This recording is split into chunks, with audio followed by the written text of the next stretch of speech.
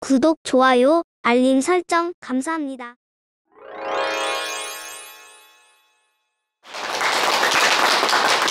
박근입니다. 글쎄요, 저기 반일 하다가 갑자기 또 이렇게 설명하라 하니까 이 뭐가 좀 원래 그 정연하게 말하는 그런 재주도 없고 그런데 그래도 제가 겪은 거니까 그냥 말씀드리겠습니다. 근데 제가 두서없이 막 계속 한 것보다 어떻게 했냐 하면 대답해 드리는 게 나을 것 같아요. 그렇죠, 그렇죠. 네.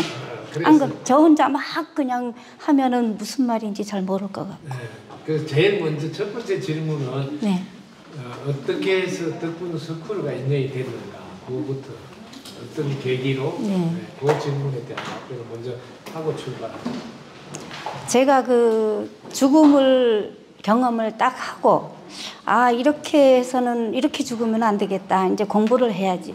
그래서 이제 다 내려놓고 불교 공부를 했어요. 하면서 이제 스승님 본문도 살짝 들었는데 제가 복이 없는지 비켜갔어요.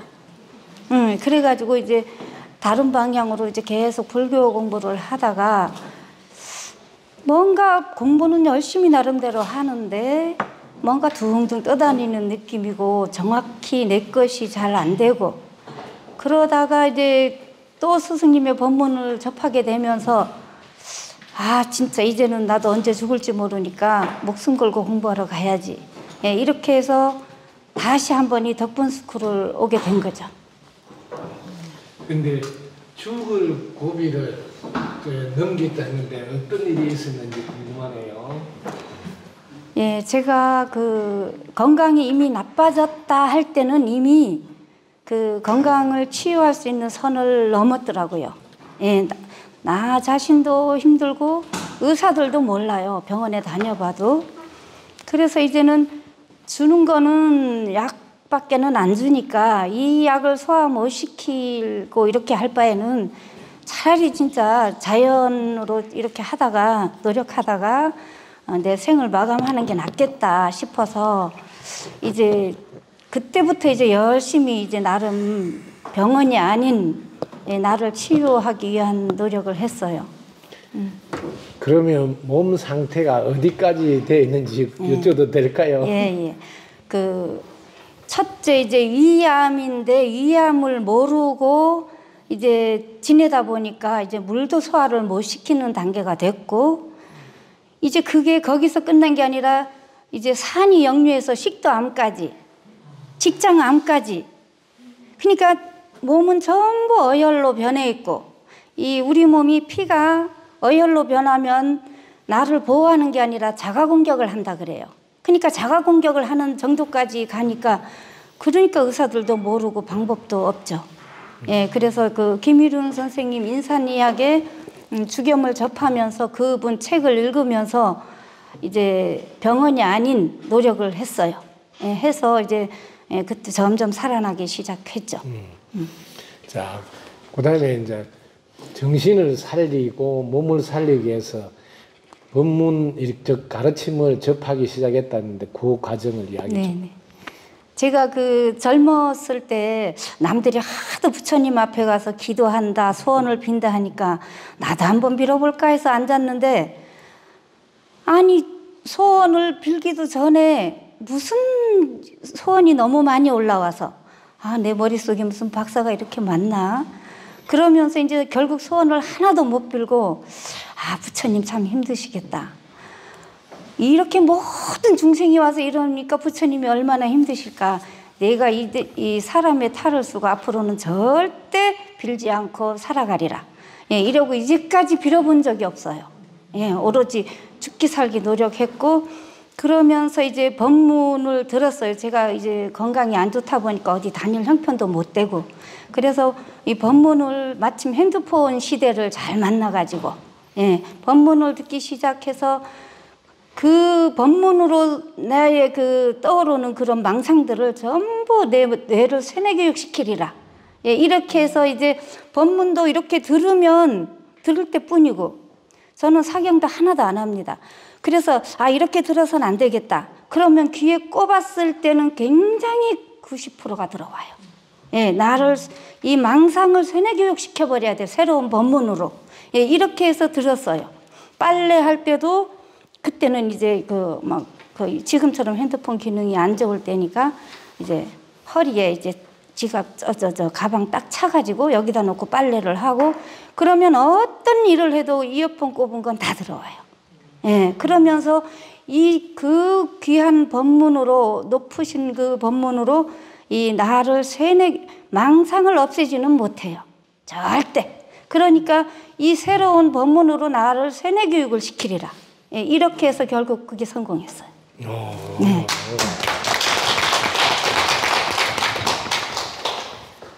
지금 이제 하나의 포인트가 그죠? 우리가 살면서 제일 힘든 게 이제 망상이라고 할 수 있는 그 기억 속에서 올라오는 생각이 끊임없이 막 나를 힘들게 하고 또 그쪽으로 빨리 가다 보면 그 속에 빠져서 막 힘들고 하는데 1차로 그거부터 내가 예, 새로운 예, 길을 하나 내는 걸 지금 하셨는데 그게 법문으로 하셨다. 그럼 법문으로 안 하고 일반적으로 뭐 다른 거를 하는 거하고 무슨 차이가 있는가요? 그걸로는 참 이 이 병마가 온 그 고통과 망상, 번뇌 이런 것들을 이겨낼 수가 없습니다. 예, 오로지 그 부처님 말씀에 그 최상의 법문이라야만 죽음도 편안히 받아들일 수 있고 아, 이 내가 사는 게 이거 다 집착이었구나. 망상이고 거짓. 왜 꿈속을 산다고 하는지 예, 그런 것들을 알 수가 있습니다. 예. 그 보통 어. 그 보통 이제 진언으로 하는 사람도 있고 그죠 연불로 하는 사람도 있고 방법은 여러 가지 있는데 그 중에서 그 부처님 가르침 즉 지혜의 말씀이 훨씬 더 지금 이렇게 우리가 갖고 있는 분별 망상, 번뇌 망상, 그- 그거 망상을 새로운 길을 내는 게 더 본인은 쉽다. 네, 네. 근데 어느 정도 들어야 그래 될까요? 그 제가 처음 그 법문을 접한 거는 그 서로 스님께서 선에서 본 금강경이라는 거였어요. 그게 33편인데 서로 스님께서 그러셨어요. 여러분이 뭐 이거 뭐 어, 들었다고 뭐 알아? 몰라. 한 편당 30번을 들어야 조금 올까 이러시더라고요. 그래서 아 그런가 하고 그 30번을 한 편당 30번을 다 들었어요. 그러니까 33편이니까 990번이죠. 음. 세 번을 또 이어폰에 거 받아 적었고 천 번이 금방이에요. 천번 듣는 게. 예, 그렇게 해서 그래도 몰라요. 그래도 몰랐는데 거기서 저는 그 굉장히 아름다운 시를 한 편 가지고 얻은 게 있어요. 어, 아유 일건 경이요 불이 진묵성 정계무일자 상방 대광명이로다 이 세계는 어떤 세계일까 계속 이러면서 이제 살아왔어요. 음. 음. 자, 그거는 그건 이제 이 세계는 어떤 세계하고 살아갔는데 어느 날 그게 딱 불이 들어온가요? 어떤 계기로 그 내용이 이제 네, 듣다 보니 법문을 그래도 법문 우리나라에서 내놓으라 하신 도를 이루신 분들의 법문을 들었죠. 그러면 아 어느 스님 법문은 좀 아니다 이렇게 좀 구분도 되고 해서 듣다 보니까 예 그 세계가 이해가 되더라고요. 예, 이해가 되면서 아 이제는 뭐 고- 죽음을 각오하고 목숨을 걸고 공부밖에 없다. 예, 이렇게 해서 했습니다. 지금도 하고 있고요. 음. 그다음에 이제 몸이 너무 힘든데 어떻게 몸을 이렇게 지금 같이 만들어내는 과정은 어떻게 해서 네. 이루었습니까? 예, 저는 이제 약도 못 먹고 법이 없으니까 이 특히 이제 그 직장암에는 실제 제가 그 과연 그럼 이걸 죽을 힘이면 한번 해보자 해서 이제 했는데 이미 그 제가 이제 직접 그 신종산이란 주겸이 들어있는 그걸 가지고 그 학문 안에 직접 그 직장암 혹을 전부 막 저기 문 떼고 깨끗이 하면서 거기서 어혈이 막 손바닥만큼씩 쏟아진 게 지금 핸드폰에 다 찍혀 있어요. 어, 있는데 그러고 나면 그 고통이 말도 못합니다. 이 세포 하나가 다 어쩌지를 못할 정도로 고통이 심한데 저는 그때 얼른 헌옷 입고 장화 신고 밭으로 나갔어요. 밭으로 가다 보면은 5분 안에 내가 언제 그랬지? 예, 저 자연이 주는 그 힘이 굉장합니다. 그래서 절대 의사가 의사가 나를 책임져 주진 않아요. 예, 내가 책임져야 됩니다. 내가. 음, 그러면 아무리 못 고쳐도 50%는 고치세요. 그래서 근데 저 자연 속으로 가면 우리의 마음은 한 번에 한 곳밖에 못 가니까 자연 속으로 갈 때 자연에 우리가 그쪽으로 생각이 가버렸으니까 지금 아픈지 안 네. 아픈지 이런 게 이제 모르고 그다음에 이제 일을 하면서 또 어떻게 하신가요? 그래서 이제 저는 일해도 항상 일을 합니다. 일을 했을 때는 그 내가 아픈 거를 다 잊어버려요. 예, 잊어버리고 그 일에 심취해서 내가 뭔 일이 있었나 아팠나 이런 게 없고요. 이제까지 그렇게 하다가 이제 요즘에는 아, 공부를 하기 위해서 일도 조금 좀 무리하게 하지 말아야지 이렇게 정리를 하고 있고요.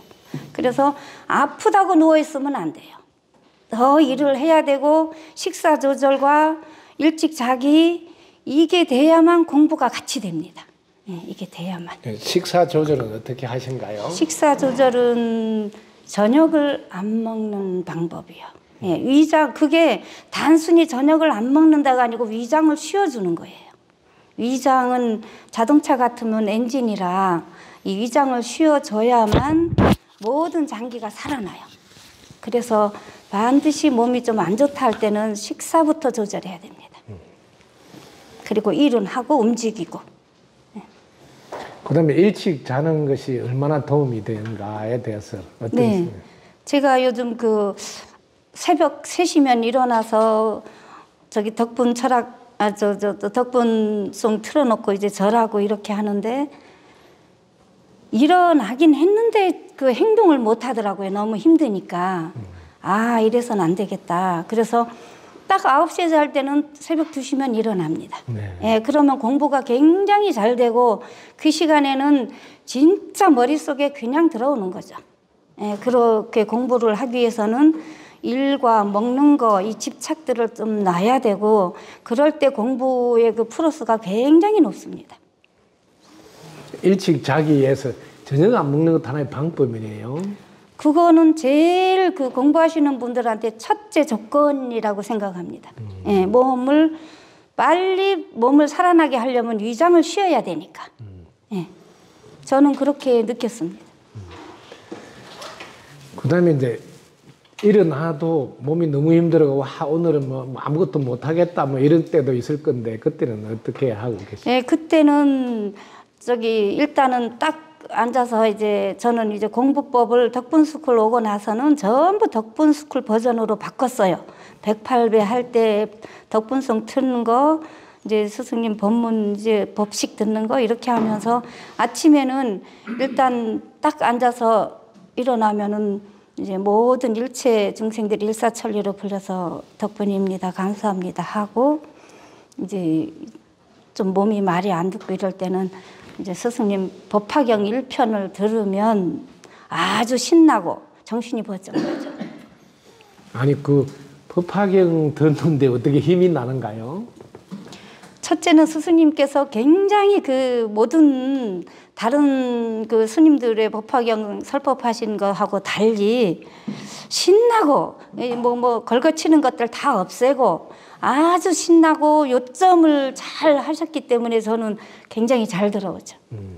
그럼 그렇게 잘 들어오려면 법화경 공부도 또 많이 했어야 그런 게 들어오지 그냥 들어오지는 않았을 텐데 저는 사경을 한 번도 한 적 없고요. 할 시간도 없고요. 거기에서 그렇게 그 매력을 느끼지는 않고요. 이 법문을 좀 많이 듣다 보니까 뭔가가 이렇게 하나로 정리가 되면서 예, 이제는 좀 들어오지 않았나 싶습니다. 그리고 자 다른 공부 즉 강의를 듣다가 왜 덕분스쿨로 버전을 다 바꿔서 하게 된 어떤 계기가 있나요? 그러니까 이 덕분스쿨 공부를 접해 보니까 이 법문에서 제가 헤매던 부분들이 딱딱 맞아 떨어지니까 제가 우선은 만족감이 있고 더 공부에 신나고 이걸 생활에 적용을 했더니 그 덕분 철학처럼 그 내용처럼 아 진짜 걱정 없는 삶을 사는 거예요. 예. 그리고 엊그저께는 또 무슨 법문을 듣다가 스승님 법문을 딱 저는 대입을 해봐요. 아 이건 그 무슨 뜻이구나. 다른 스님들의 법문하고 스승님 법문은 보면 그 표현이 조금 틀리세요. 그 법문에도 어떤 분이 사돈가 하듯이 예 조금 틀린 점이 있어요. 그래서 신중하게 이걸 잘 받아들이지 않으면 안 되니까 저는 항상 높은 법문을 들은 거에 이 덕분 철학의 그, 그 내용들을 전부 대입을 해봅니다. 그러면 딱, 아, 이게 그 뜻이었구나 하면서 맞아 떨어질 때는 굉장히 만족감이 있고 생활에서도 진짜 저는 걱정 없는 삶을 살게 되었습니다. 이게 딱 떨어지죠. 예. 그 대입을 해본다 하는데 생활에서 어떤 기제를 구체적으로 어떻게 대입하는지 살짝 한, 한 예를 들어 드릴 수 있을까요? 네네. 그 그러니까 우선 그 가족들한테 이제 그 손녀딸한테 제가 존댓말을 먼저 쓰고 네. 예, 덕분입니다를 먼저 하고 그 내 편이나 누가 좀 공부를 안 하니까 모르고 이제 마음에 안 드는 일을 했을 때도 아 원래 저 저 원래의 그 에너지 상태로 그 사람을 보고요. 예 그리고 또 그 얼마 전에는 뱀이 마당에 나왔는데 돌 옆에 일하는데 이렇게 있길래 그때는 덕분스쿨 오기 전이었는데 아 이 뱀을 보니까 그냥 집안에 들어올 것 같고 온갖 망상이 견딜 수가 없어요. 그래서 그때 딱 그 스승님 법문 뱀에 대한 법문이 있어요. 음. 예, 그게 탁 떠오르면서 그 뱀 옆에 가서 야, 뱀아, 이건 우리 덕분 저기 철학의 성담 스승님 법문이다. 너 빨리 3일 내로 안 가면 너는 누구한테 잡혀 죽으니까 빨리 저 멀리 가거라. 세 번을 얘기하니까 제가 편안해지는 거를 느꼈고 옆에 가도 안 무서워요. 음. 예, 이런 거를 저는 그 법문을 잘 때도 막 듣, 끼고 저기 자고 하니까 꿈속에도 이제 스승님께서 막 법문을 해주시죠. 근데 보통 이제 나름대로 법문을 열심히 듣는다 하더라도 보통 한 100번 들으면 엄청 많이 듣는 줄 아는데 그동안 법문 들은 횟수 이런 걸 살짝 말씀하셔도 우리가 네. 참고로 몇 번 정도 들었는가. 저는 그 총한15,000 정도 되는데요. 네. 예. 이렇게 들으면 천 번도 간단해요. 예. 그리고 이제 오늘 아침에도 법식을 녹음했는데 저는 필기를 별로 안 합니다. 필기를 볼 시간이 없고 볼 그렇게 중요성을 안 느끼고요. 오로지 그거를 여기 넣으면 결국 마음으로 와서 행을 하게 되니까. 예, 그래서 저는 이 녹음해서 벌써도 뭐 세 바퀴는 들었죠. 반일을 하면서. 네. 네. 그래서 자 제가 이제 제 4의 물결을 그제 3의 물결 책을 83년도 엘빈 터플 책을 보면서 제 4의 물결은 앞으로 어떤 것일까 했을 때 바로 우리가 행으로 사용한다 이거지. 뭐 지금 예를 들면 적어서 저장하고 해야 여기서 바로 나와서 써야 된다 이런 것을 제 4의 물결이라고 생각해서 저는 83년부터 그렇게 준비를 했는데 그 철저히 지금 공부하는 방식이 행으로 이어지게끔 하려고 반복을 많이 들어서 그게 이제 생활 속에 적용을 자꾸 시키면서 익혀간다. 네. 예, 그렇게 하신다는 거죠. 음, 그럼 그동안 이제 지금 몸 상태가 많이 지금 좋아졌는데 이 몸을 어떻게 지금 치유를 해냈는지 좀 들려줄 수 있을까요? 네, 첫째는 이 몸이라는 게 그, 그 바른 부처님의 그 높으신 그런 말씀, 예, 그런 법문이 앞장서서 이거를 뛰어넘어야 돼요. 첫째는. 그래야, 아, 죽음도 죽음이 아니구나. 이걸 알아야 하지. 이 두려움을 가지고 편안해질 수는 없어요. 예, 아, 죽음이 죽음이 아니구나. 그리고 이 바른 법식을 바르게 알면 오늘 저도 어제 밤에 굉장한 일이 있었어요. 밤새 진짜 무슨 일이 있었냐 하면은 오줌을 못 누는 거예요, 갑자기. 밤 9시 반이 됐는데, 그래서, 아니, 오줌을 못 누니까 점점 아랫배는 불러가고, 아, 이런 적이 없었는데, 그 직장암도 다 자궁에 전이된 것도 전부 이런 적이 없이 했는데, 아니, 왜 오줌을 못? 이렇- 그렇게 해서, 아, 스승님께 이 저기 무심치유를 좀 부탁드려야 되나 하는데, 시간도 늦고, 그럼 내가 할 수 있는 건 해봐야지. 그래서 이제는 그냥 잘 수도 없고 해서 화장실 가서 이 원인이 뭘까 해서 제가 직장암을 직접 이제 전부 이제 그 핏덩이를 다 이렇게 했으니까 그러면 질 속으로 그러면은 손 한번 보자 어디가 막혀서 오줌이 못 나오는 것 같은데 하고 손가락으로 이제 질 속을 넣고 거기를 계속 마자, 마사지 하는데 이만한 어혈 덩어리가 툭 나오는 거예요. 그러고 나니까 오줌이 전부 혈이 섞인 오줌이에요. 어, 이건 좋은 건데? 예, 이건 좋은 건데 거기 가 보니까 부었더라고요. 그러니까 그 어혈 덩어리에 막혀서 제가 항문 닫기를 잘해서 이게 됐나? 저는 이 덕분 스쿨 와서 제일 먼저 철저히 잘한 것이 닫고 바꾸- 뒤꿈치 들고 절하기. 예, 저 이제는 이 뒤꿈치 들고 한 1km도 걷거든요. 네, 그 정도로. 예, 그 정도로 저는 이걸 진짜 몸이 몸인 만큼 이걸 안 하면 안 되니까 즉시 한다, 반드시 한다, 이걸 진짜 실천했어요. 그래서 이것만큼은 모든 분이 꼭 해야 돼요. 왜? 내 몸을 쓰러질 때 언젠가는 나를 살려요. 이게.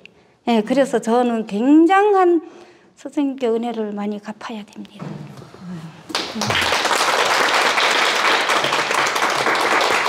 그 학문 닫기를 실제로 어떻게 하는지 해 왔는지 좀 들려줄 수 있을까요? 네.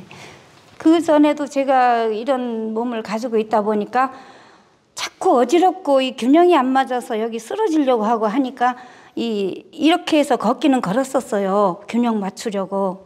그래서 근데 이제 항문 닫기 뜻은 몰랐죠. 그래서 덕분 스쿨 와 보니까 아, 이 뜻이 대단해요. 그래가지고 즉시 했더니 이 엄청납니다. 아마 그래서 어젯밤에도 그 어혈이 그래서 이, 이걸 잘해서 떨어지지 않았나. 예. 그래서 아침에도 보니까 또 혈흔이 섞인 어혈하고 나온 오줌을 쌌어요. 근데 그래도 밭일 가서 한 판이 감자 심은 거 다 손보고 와서 또 화장실 갔더니 이젠 정상화됐더라고요. 야, 이거는 대단한 거다. 예. 이, 제 같은 몸을 가진 사람이 이거를 해서 살아나는 걸 다시 한번 느낀다면 이건 대단한 거예요. 예, 대단한 거예요. 그렇게 해서 저는 이제 절할 때도 이거를 듣고 내리지를 않는 상태에서 앉았다 일어섰다 다 합니다. 예, 발굽이 들은 상태로 이거를 20분 해요. 예, 해보니까 되거든요. 그리고 이제는 제가 그 굳이 하려고 안 해도 걸어가면서도 딱 이제 단전에 힘이 들어가면서 항문이 닫고 예, 웃어야지 내가 웃어야 웃을 일이 생기니까 예, 이러면서 그래서 이 공부가 저한테는 너무너무 다시 태어나게 하는 계기죠. 예. 그래서 안 그래도 처음 덕분 스쿨 왔을 때 저는 죽음을 각오하고 왔어요. 내가 이제 얼마 못 살겠구나 하고 이제 죽을 때 그래도 스승님께 좀 눈 깜빡하면 제가 좀 좋은 데 가게 잘 해주지 않을까. 예, 그 마무리는 하고 가야 되겠다 해서 진짜 목숨 걸고 진짜 이렇게 다닐 형편이 아니었거든요. 근데 그날 와서 이제 대중들 앞에 쓰러져서 이제 이런 모습을 보이면 안 되니까 굉장히 저 자가를 막 밟고 오불식을 철저히 하고 노력을 많이 했어요. 아, 그랬더니 힘이 막 나면서 어머, 3년 꼭에 넘어지면 3년 더 살듯이 그거하고 똑같네? 이걸 가지고 갔거든요. 예. 그래서 죽음을 우선 뛰어넘어야지 이거를 피할 수는 없죠. 그리고 망상이라는 게 반드시 있어야만 나를 키우는 것이고. 음, 음, 저는 그렇게 해서 이 공부가, 이 공부가 저는, 어, 진짜 몇 생을 살아서 해야 될 걸 이 생에 다 하는구나. 예, 부처님 감사합니다. 스승님 고맙습니다.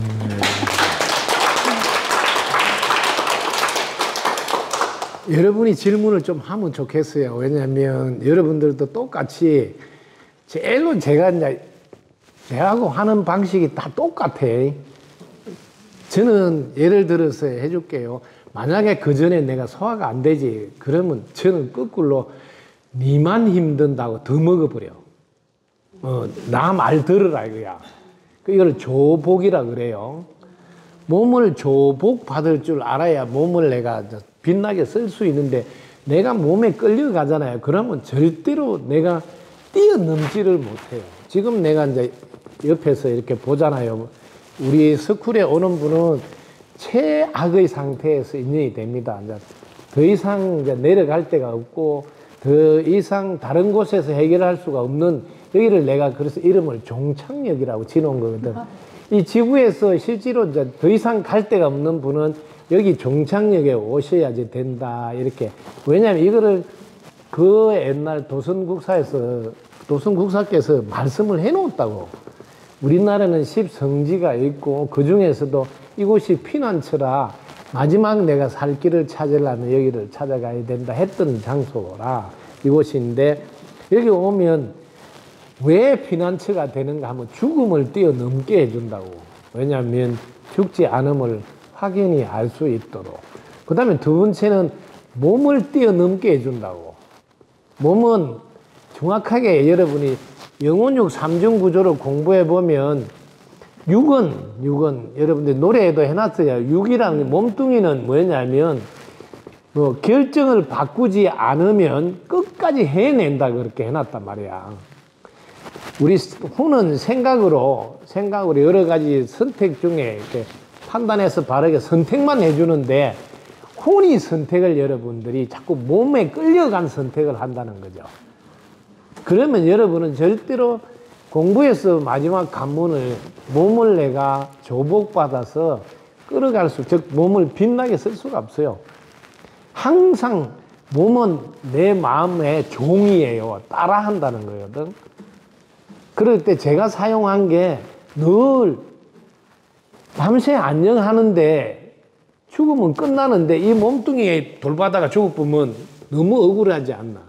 몸뚱이를 빛나게 쓰다가 죽어야 되는데 몸뚱이 돌보다가 죽어보면 아니 몸뚱이 죽으면 몸뚱이는 내하고 인연이 끝나서 그 필요도 없는 몸뚱이가 돼버리는 거기다가 내가 먹여주고 입혀주고 재워주면서 내 인생을 바치고 있는 게 제일 억울하단 말이야. 이 몸뚱이 있을 때 하나라도 저 빛나게 쓰는데 쓰지려면 몸뚱이를 끌고 가야 되거든. 근데 지금 우리 만덕향님께서 어떻게 몸뚱이를 끌고 갔느냐 이거 예를 들어서 이건 이거는 지금 뭐 지금 말씀은 반쪽이 지금 작동이 안 되는 몸이래요. 얼음 덩어리로. 근데 지금 여기까지 끌고 왔다거든. 그럼 그럴 때 오히려 다른 사람 같으면 쉬어줘야 되겠다. 눕는다는 거지. 근데 어떻게 해서 그렇게 할 수 있었는지 그걸 이야기를 조금 듣고 싶네요. 그러니까 어제 같은 어제 밤 같은 경우도 그 굉장히 놀라는 일이지 않습니까? 그래서 소변이 안 나오고 뭐 막히고. 예. 그리고 그 어, 혈이 섞인 오줌을 그렇게 막 싸고 할. 정도면은 그렇지 스승님 저 좀 이상합니다 해야 되는데 네. 그 어혈 덩어리가 나온 거 보면은 이건 좋은 겁니다. 네. 예. 그거 쏟아졌다는 건 그건 축복이죠. 음. 그래서 잠을 많이 설치고 그래도 법문 듣고 자다가 아침에 또 밭에를 나갔잖아요. 음. 예. 이 아프다는 거에 매이면 안 되거든요. 밭일 가서 감자 한 판이 다 끄집어서 저 확인하고 심고, 예. 그러고 왔고. 이렇게 이 아프다는 데다가 마음을 두면 안 돼요. 음. 아프다는 거는 이거를 잊어버릴 만큼 그 강한 좋은 에너지가 그게 법문이고 공부죠. 실제로 아침에도 제가 법사님 그 이야기 나눌 때 법사님도 그 되게 힘들 때 죽기 살기로 뭐, 주- 뭐 이리 절하다가 죽지 뭐 하고 그 절을 하다가 죽겠다고 하고 몸을 결국 조복해서 일- 일어섰다고 이제 이야기를 하면서 제가 우리 시골 그 할머니 이야기를 해주세요. 여기 시골 요 동네에 동네 할머니가 허리가 아파서 여기를 못 올라온다는 거예요. 내 만, 아이고, 저 허리 아파서 올라가지를 못한다. 그런데 이 봄 되면 고사리 끈으로 그 할머니 제일 먼저 산을 이거 3시간, 4시간 돌고 여기도 고사리 이고 여기를 차고 내려와요. 이걸 여러분들 허투루 듣지 말라는 거지. 우리 몸은 내 마음에 의해서 반드시 움직인다. 한 번도 허리 아프다 소리 안 하고 고사리 다 끊고 집에 없어 그때 고사리 풀어놓고 아이고 허리야 한다고. 그럼 그동안 우리는 왜 안 아팠을까? 이걸 여러분들이 크게 깨달아야 된다고. 왜냐하면 육은 혼의 말을 듣도록 돼 있잖아요. 결정만 안 바꾸면 내가 일하겠다면 일을 해진다는 거지. 이걸 제가 덕분 스쿨에 왔으면 이걸 해내야지. 덕분 스쿨에 왔는데 힘들다고 방에 누워있고 집에서 하던 대로 할 것 같으면 덕분 스쿨을 왜 오느냐 아닌 거지. 덕분 스쿨 왔기 때문에 그때 밭에 나가서 일하고 산책하고 운동하고 이렇게 해서 집에서 안 하던 행동을 해야지 빨리 극복한다는 거지. 그럴 때 무슨 마음으로 그렇게 일하러 가십니까? 그게 궁금하더라고. 그렇게 살기에요. 네, 그렇게 해서 아이 뭐 내려놓을 거 내려놓고 안 되는 거 안 되고 놔두고 이 법문 꼽고 딱 출발을 합니다. 그러면은 법화경 한 편 들으면 아 한 시간 일했네. 그 일은 다 해서 있고요. 예, 그래서 하면은 내가 일을 했는지 뭐 했는지 근데 일은 다 해져 있고 공부는 머릿속에는 공부가 있고 이러니까 그 시간이 행복하죠. 예. 자, 여기서 중요한 이야기를 하나, 그 법식, 즉, 그 지혜의 말씀을 들을 때 힘이 난다잖아요. 이게 뭐냐면 우리가 답답할 때 창문을 열어야 새로 공기 마시는 거와 똑같은 위치거든.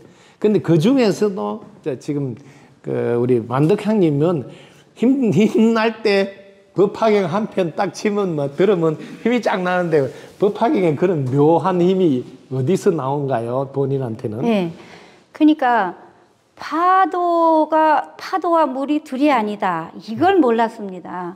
그러니까 파도는 망상이고 물은 고요한 원래 자리인데 이 망상에 휘둘려서 그동안 살았지 않습니까? 제가 몰라서. 그런데 이제는 그 이치를 알고 보니까 아, 파도가 당연히 있어야지. 예, 그래야 물을, 물이니까. 그리고 또 법을 이용당하지 말고 법을 굴려라. 그래서 엊그저께는 또 법문을 듣다가 아, 나는 몸도 이래서 뭐 일도 못하고 뭐 형편이 좀 이러고 아니지 스승님 법문에는 이 뻘밭 같은 진흙밭 같은데 다리를 탁 담궈서 여기서 연꽃을 피워라 했으니까 마음만 돌려라. 예, 이렇게 탁 오더라고요. 그래서 아, 그, 부, 그 부분도 해결되니까 예, 제가 기쁘고 예, 편안하고요. 네. 그래서 전부 다 에너지를 공급받고 있다는 걸 느끼지. 우리가 에너지가 음식을 통해서도 공급받지만 이 법식을 통해서 에너지 받는 거는 더 짱짱한 힘으로 우뚝 서게 하는구나. 그래서 제가 계속 이야기하는 게 공통점이에요. 제한테 마지막 도움을 청하거든요. 전부 다. 그래도 제가 집에 있더라도 법식만큼은 꼭 들어달라고 하는데 그걸 안 하셔. 그래서 그런 분들이 빨리 못 일어나. 법식은 뭐냐면 새 에너지를 계속 불어넣거든요. 여러분들이 제가 해준 그 강의 내용들은 공통점이 기운이 나도록 하는 법문들이에요. 그래서 다른 분들의 법문하고 차이점을 조금 들은 그 이야기를 한번 듣고 싶네요. 어떤 점에서 어떻게 다른지. 그 처음에 그 덕분 스쿨이 이 무슨 해탈도 같은 이런 내용을 보면은 처음에는 쉽기는 쉬운 것 같은데 너무 쉬워 너무 쉽게 해서 그런가 이러면서 했는데 여기에 뜻을 알고 보면은 금강경 법화경의 모든 뜻이 다 해석해서 들어가 있어요. 네, 그거를 저는 알고 아 이거 굉장한 말씀 뜻이구나. 예, 이렇게 해서 예, 이 또 덕분 철학 같은 경우는 아 나는 이거 이 뜻만 확실히 내 거화되면 나는 인생 걱정 없다. 예, 예, 이렇게 하죠. 그리고 저 덕분 스쿨 법문만 듣는 게 아니라 깨달은 큰 스님들이나 이런 법문도 들었을 것인데 거기에 대해서도 같이 어떻게 접목해서 네, 듣습니다. 스승님 법문도 듣고, 예, 이런 저기 덕분철학 해탈도 이것도 다 틀어놓고 절을 하고 다 듣습니다. 예, 하루 절을 한 번 할 때도 있고 세 번까지 할 때가 있어요. 예, 저는 그래야만 이 몸이 살아나거든요. 예, 절을 했을 때 이 몸이 바르게 되고 살아났기 때문에 그래서 이 아픈 몸이 참 첫째 대단한 스승님이고 저한테는 큰 스승님이죠. 몸이 아픈 쪽이. 예, 그래서 이제 한데 그 다른 요새는 그 도노입도 연문론을 듣다 보면 그거를 한 30번 들었는데도 뭐가 뭔지 모르겠더라고 근데 요새는 그게 들어오면서 스승님 그 예, 아 덕분 철학의 그 어느 뜻하고 같구나 이렇게 자꾸 대입을 하면서 아 스승님은 스님이실 때도 법문을 아주 특이하게 쉽게 그렇게 하셨지만 지금 이렇게 여기 이렇게 저기 이 프린트물에 적혀 있는 이런 내용들도 아 이건 대단한 건데 이 뜻이 예, 이건 대단한 건데 그러면서 이제 여기 거를 더 이제 그 뜻을 알아가죠. 뜻을 알지 저는 외우는데 중점을 두지 않습니다. 그래서 실제로 이제 진가를 알면 알수록 깊이 더 그, 그걸 적용해서 사용하는 네, 단계로 가는데 네. 제일 여러분도 궁금한 게 여러분 힘들면 눕고 싶지 아 힘들, 힘들 때 일하러 가서 일하겠다 이게 잘 안 되지 않습니까? 근데 거기에 대해서 여러분 궁금하지 않아요?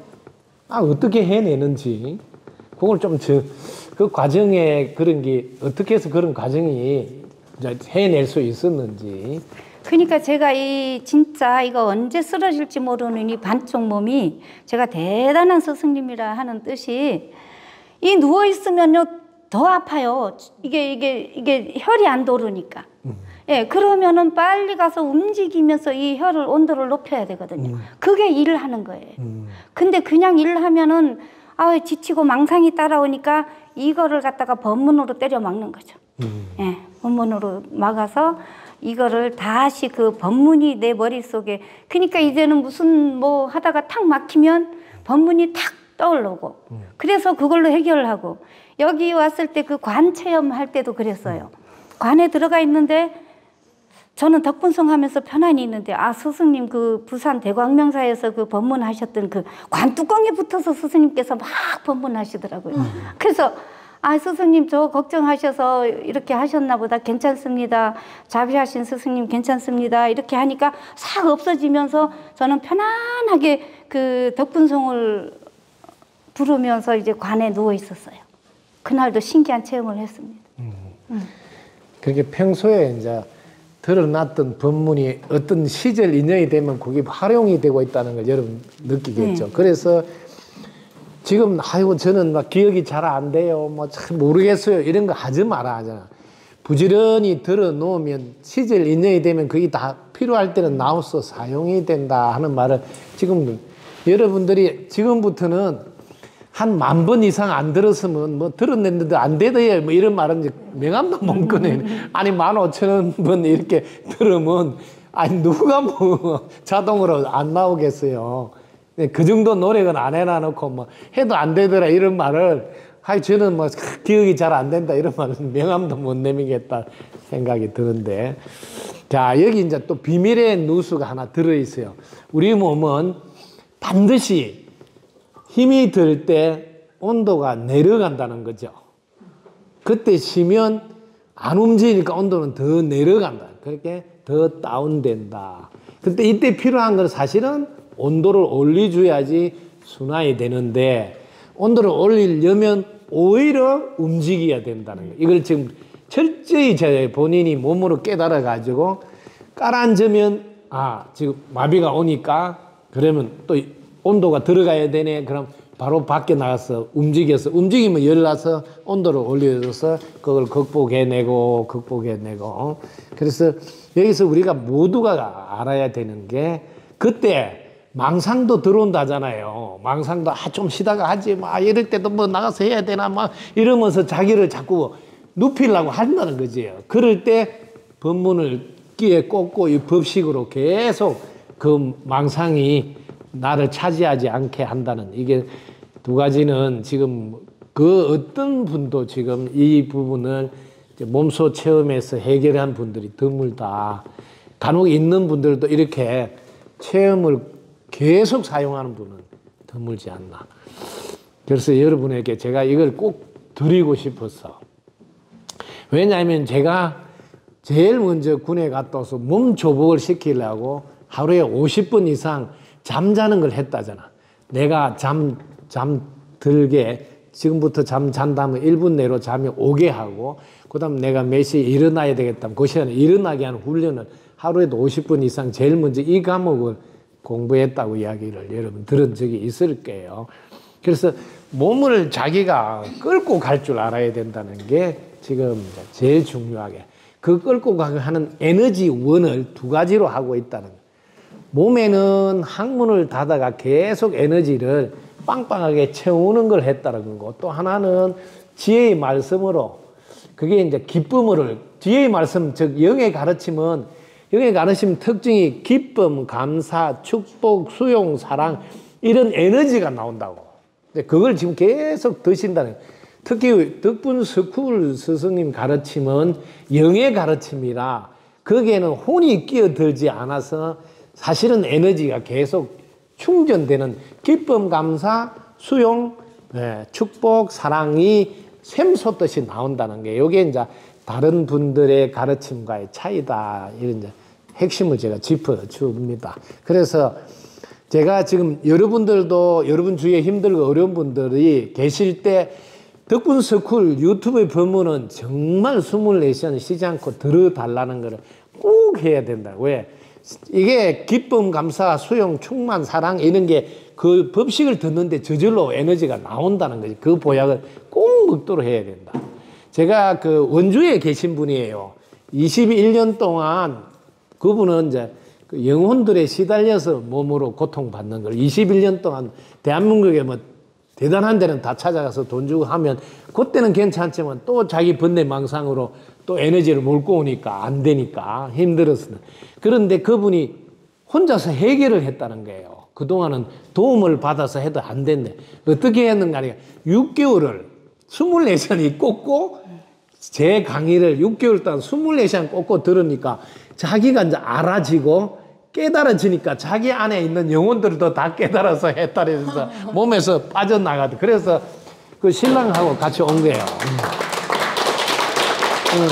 신랑하고 같이 오가 고맙다고 막 절을 하면서 드디어 해결이 됐다. 이때 똑같아 지금 우리 만덕향님도 의사의 도움을 다 받아보고 뭐 어쨌든 도움을 받아봐도 이거는 안 된다고 결론이 나오니까 내가 스스로 해야 되겠다 했을 때 똑같은 공통점을 지금 만덕향님도 24시간 이 이어폰으로 계속 법문을 계속 망상을 때리 잡는 법문을 했다잖아요. 그 법문을 듣고 있으면 망상에 끼어들지 못하게.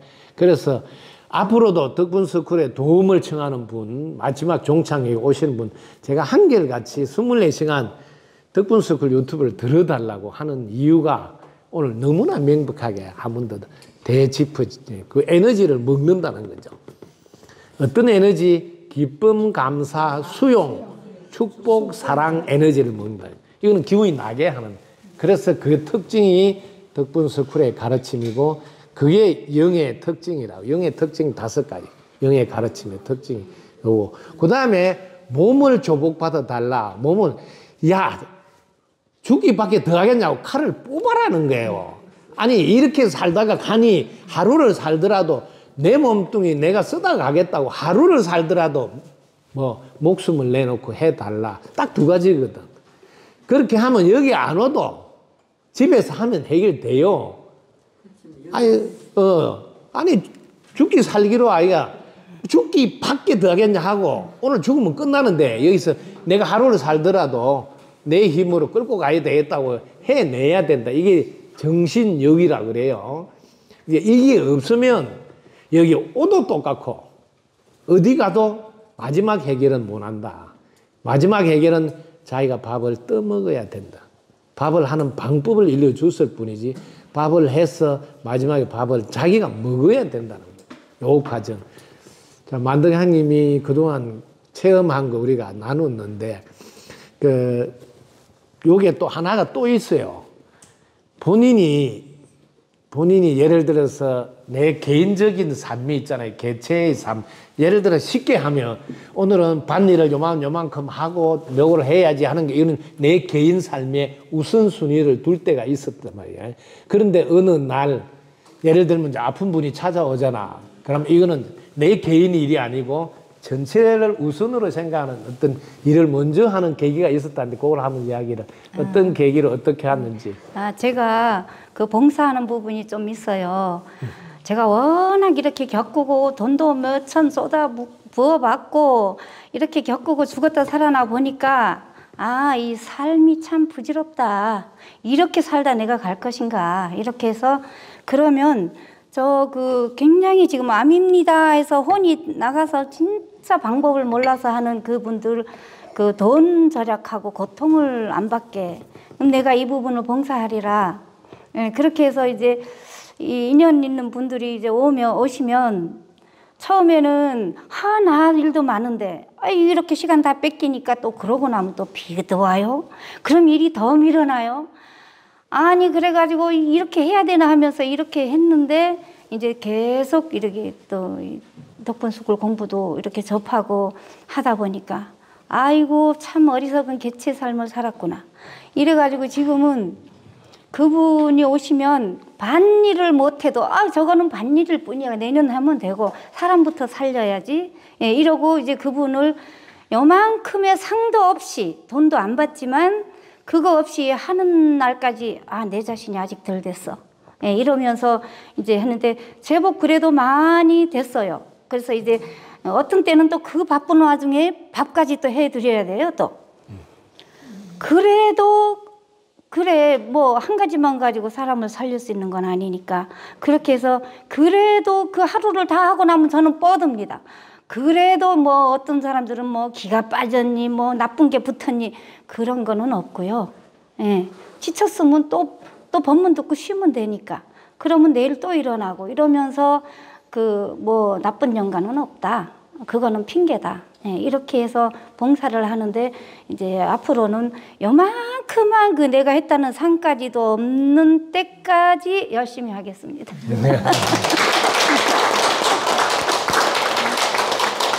너, 너무 좋은 이야기인데 우리가 상대 세계니까 분명히 어, 하는 나도 있고 그 도움을 받는 상대도 있어요.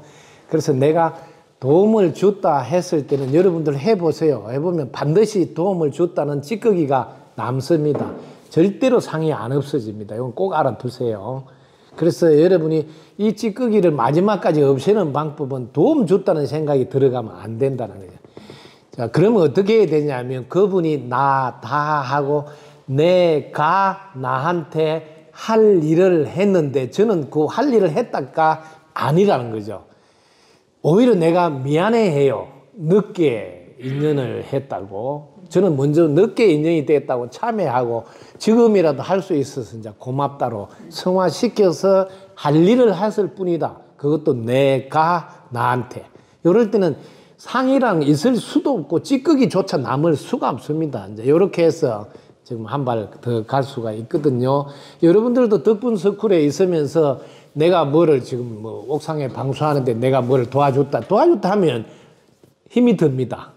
두 번째, 안 알아주면 서운해요. 아, 이게 차이점을 알아두셔야 돼요.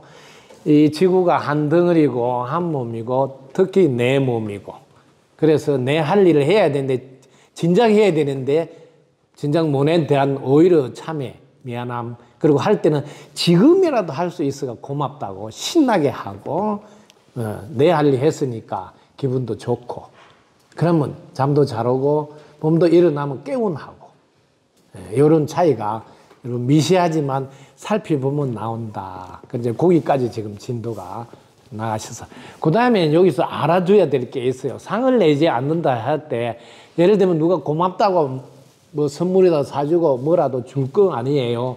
그럼 내가 안 받는다고 막 거절하는 거는 상을 내고 있는 거예요. 이거 꼭 알아두시고 그리고 상을 제일 많이 내는 사람은 절대로 이걸 사진 찍어서 올리지 말고 남한테 이야기하지 마라 하는 분은 상을 가장 세게 내달라고 주문하는 분이라는 거를 꼭 왜냐하면 상을 내고 싶지 않은 분은 그걸 하든지 말든지 그것조차도 신경을 안 쓴다. 거기다 올리든지 이야기를 하든지 돈 봉투를 주든지 조차도 신경 안 돼. 만약에 돈 봉투 있으면 고맙다고 이걸 빛나게 쓸 뿐이에요. 차이점을 알아야 된다고. 상은 안 된다는 것도 공부를 좀 정확히 해야지 마지막 내 몸이 더 신나게 되고 그다음에 이게 상대를 치료해 준다고 했을 때 보통 사람들 그 치료하다 보면 내가 기운도 빠지고 치료할 때 좋지 않은 기운들까지 내한테도 이렇게 영향을 미친다 이렇게 알아요. 그럼 딱 맞는 말이에요. 왜 그러냐면 그렇게 알고 있는 분은 그런 영향이 반드시 있습니다. 처음에 제가 여기 와서도 92년도 그때도 구병시식을 어마어마히 많이 해줬어요. 그렇게 우리 큰 스님이 그 구병시식 많이 하면 그 뭐 네가 너무 힘들어 그 뭐 적당하게 해 막 이런 단어를 쓰셨거든요. 그럴 때 쓸 때도 그런 말이 틀린 말은 아니다. 일반 사람들은 힘이 들어요. 분명하게 왜 힘 들어서 하기 때문에. 그 이유를 오늘 정확히 알아두시라고 여러분이 상대가 문제가 있다고 출발해서 그 문제를 해결하겠다고 한 사람은 다 힘이 들고 그때 그 후유증으로 자기도 기운이 빠져요. 문제가 있다고 출발했으니까. 요거는 치료라는 단어를 씁니다. 차이점 알겠죠? 근데 저는 문제가 아예 없다고 출발하니까 그 한다고 용선 일이 없죠. 문제가 없으니까. 그럼 치유라고 그러고 그거는 본래 자리로 돌아가게요. 요걸 뭐냐면 입꼬리 올려서 무심에 있으면 그 어떤 전자파도 그 어떤 것도 뭐 해롭게 할 수가 없도록 되어져 있어요. 이걸 꼭 알아두시라고요. 그걸 그래서 그 단계까지 못온 분들은 아, 그렇게 하면 힘든데 예를 들면 스승님만 무심치유 많이 해주면 힘들고 막 상담 많이 하면 힘들고 그런 힘든다면 지 생각이지. 무심에 있으면 그런 차원이 아니에요. 음, 이것도 구분해서 여러분들 아시면 음, 그런 거로 인해서 뭐 기운이 빠진다 뭐 이런 개념이 아니다. 그리고 여러분들 이 무심이라는 위력이 얼마나 대단하냐면 전자파 이런 자체가 다 차단돼요. 절대로 전자파 영향을 미칠 수도 없고 예, 무심해서 만약에 여러분 사약을 마셔봐 절대로 영향을 미치지 못해. 어떤 것도 해롭게 할 수가 없어요. 왜 무심은 위력을 갖고 있어. 뭐 본래 자리로 돌려놔버려. 네, 이걸 꼭 아시고 이렇게 지금 에, 공부가 그렇게 지금 몸으로 체험하면서 공부 단계를 자기가 이제 계속 끌어올리는 것을 점검하고 거기서 이제 즐거움, 기쁨, 만족 이런 거를 느껴서 또 건강은 더 좋아지고 시너지. 여기서 여러분들 짚어줄게요. 이 세상이 이 세상이 나를 돕는데 나의 마음을 보고 돕는단 말이야. 나의 마음을 보고. 그러니까 내가 지금 반일 해야 된다. 아, 저거, 저거 해야 되는데 할 때 나의 마음을 보고 그때는 그 사람 치료해 주잖아. 치유도 안 돼. 치료해 주면 그때 힘도 많이 들고 빨리 또 해결이 안 돼. 근데 그것만 끝나는 게 여기 하늘이 안 도와주고 이제 비가 오가 또 일은 더 늦어지고 막 이런 일이 경험한 이야기를 좀 해보세요. 이런 거는 실제로 경험해야지 깨달아. 음, 사실 그렇습니다. 그래서 어, 이거를 이제 덕분 철학 공부를 하면서 아, 스승님 말씀이 이제 큰 작용을 하죠. 나는 뭐 30년 동안 돈 안 받고 천도제 했다. 음. 상대가 나니까. 예, 이런 말씀을 들 때는 진짜 머리가 띵 하고 번개 맞습니다.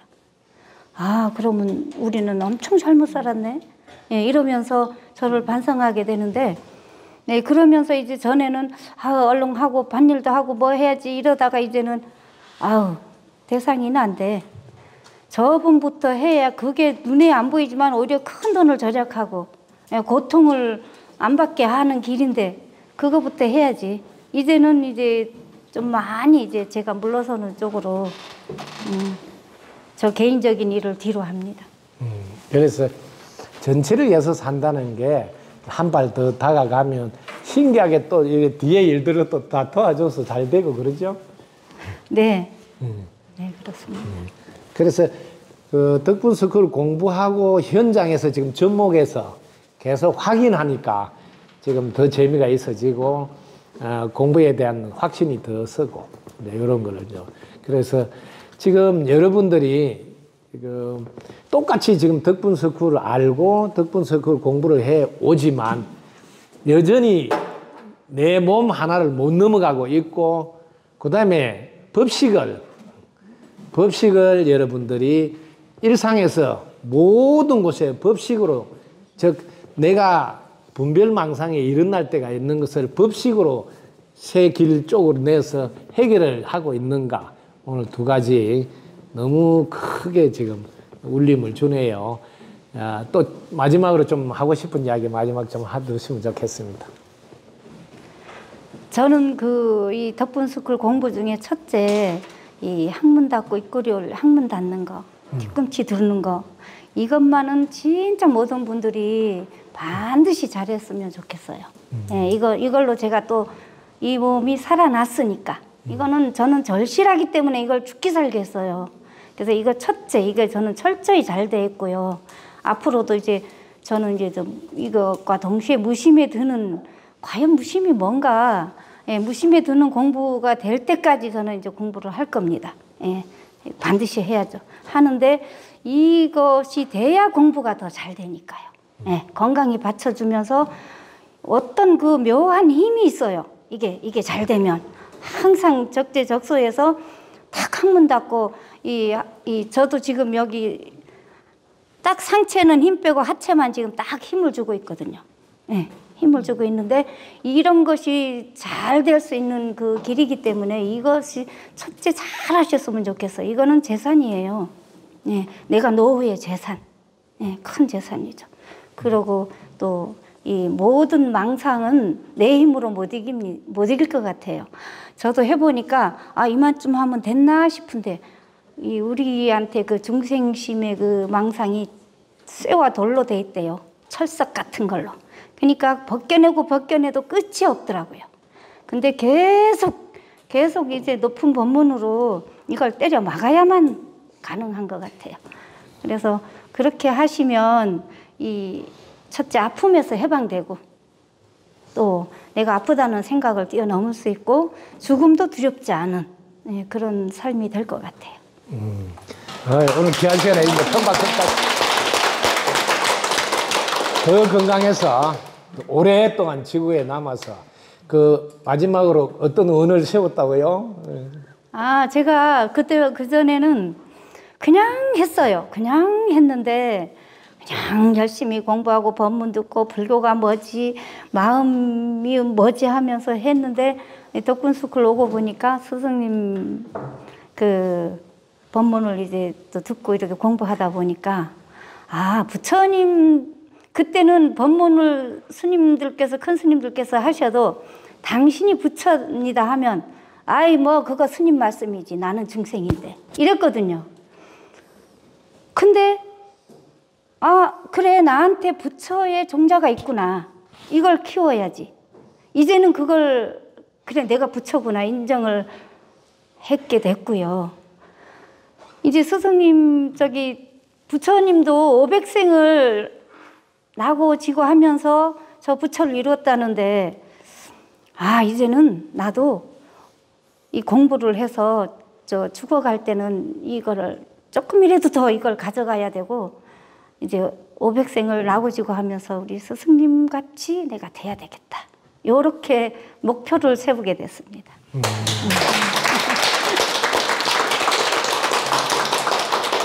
실제로 이제 여러분이 덕분석쿨 인연돼서 때로는 또 본부에 상주하면서 분명한 목표, 단계적인 목표 이런 게 서 있는 상태에서 시간을 보낸 분하고 그런 게 없이 그냥 보냈을 때 세월이 가면 차이가 너무나 많이 나니까 분명한 목표, 특히 수단, 또 마지막 목적 이런 게 명확하게 있는 게 그렇게 중요하다는 거.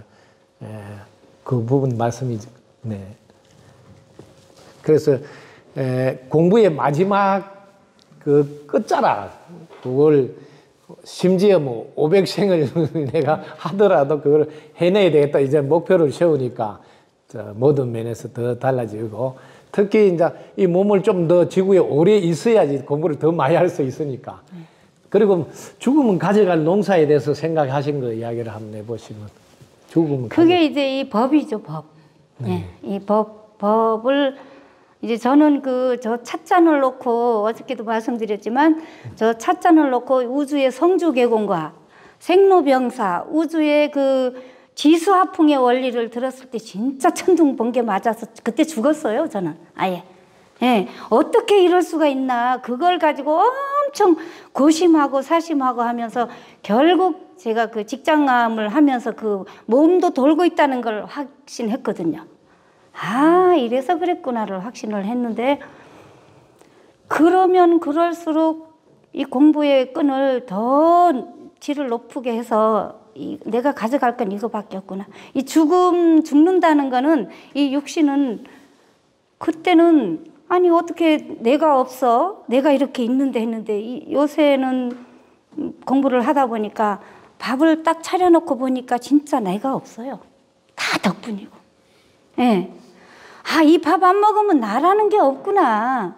예, 나라는 존재가 이래서 무하다, 뭐다, 이렇게 하셨구나를 요새는 그거를 느끼거든요. 그래서 내가 가져갈 거는 이 법밖에 없구나. 그래서 공부를 놓칠 수가 없습니다. 저는 이 몸 때문에 절실하거든요. 아무도 이걸 모르세요, 여러분들은. 예, 아직은 건강하니까. 절대 모릅니다. 저만 아는 거. 절실해요, 저는. 아주 진짜 어젯밤도 보세요. 그 피덩이 쏟으면서 그 엄청난 일을 겪었을 때 아우 스승님께 연락을 해야 되나 어찌해야 되나 내가 할 수 있는 거 해보고 해야지. 진짜 밤새예요. 밤새. 밤새도 아니고 어떤 때는 저는 그냥 대낮에도 숨 탁 하면 이걸 느끼거든요. 네, 이 죽음이라는 게 멀리 없어요. 코앞에 있어요. 그래서 이렇게 생각했을 때 이 공부밖에 가져갈 거밖에 예, 그리고 나를 내세울 그 그런 걸 알면 굳이 나를 버리라 뭐 해라 안 해도 버려지거든요. 내가 없으니까. 그래서 음, 대상과 내가 둘이 아니다. 다나. 예, 이거를 저는 또 요번에 확실히 그러니까 이 금강경의 뜻이 알아지니까 조금 이렇게 알아 체득해서 알아지니까 저 신나죠. 예, 금강경 법화경이 사경 한 번 안 해도 어 이렇게 예, 알아지니까 저는 이제 남보다 좀 신나요. 음, 신나. 그래서 그 옛날에는 이제 이 핸드폰 이런 게 없었잖아요. 그러니까 옛날 분들하고 다르게 우리가 이 핸드폰 또 이어폰까지 있어가지고 이렇게 좋은 환경에서 지금 공부를 할 수 있다는 거. 또 반복을 해놓으면 또 계속 들을 수도 있고 그 이렇게 막 천혜의 지금 환경 속에 있는데 여기서 중요한 건 밤새 안녕하면 끝이라는 거지. 이 좋은 환경에 이 조건을 지금 사용해야지. 이걸 사용을 안 하고 숨 떨어지면 끝난다는 거예요. 제가 어제도 그 발인해주고 온 거 아니에요. 돌아가신 분 발인. 어? 숨 떨어진 분 발. 그 숨이 순간 떨어진다는 거지. 이렇게 좋은 전부 다를 갖춰 놓고 지금 공부하기 좋게 해놓고 또, 또 덕분 서쿨이 또 있고 저도 옆에 있고 이런 천혜의 지금 환경 속에 있는데 이럴 때 안 하면 언제 하냐. 어, 모든 것에 우선해서 좀 해야 되는데 일편계 칠편계 되다 보면 뭐 숨 떨어질 때는 좀 후회하고 그런 건데 마지막으로 부탁 말씀 한번 해주고 마치면 어떨까요?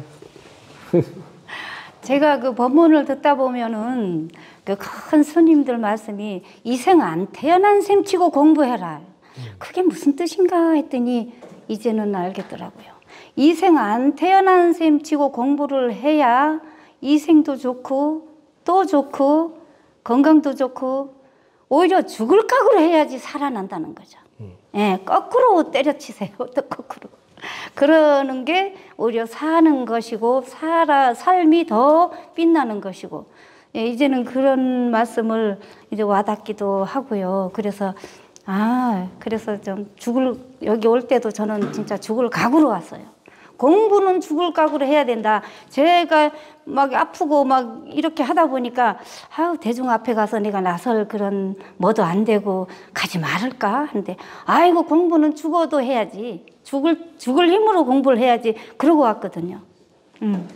지금도 건강이 많이 안 좋지만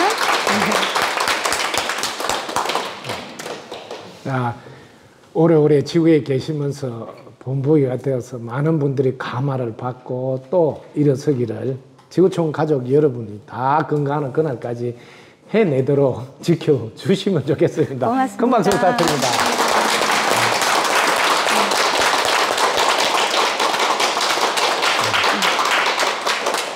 두서 없는 설명 잘 들어주셔서 감사합니다.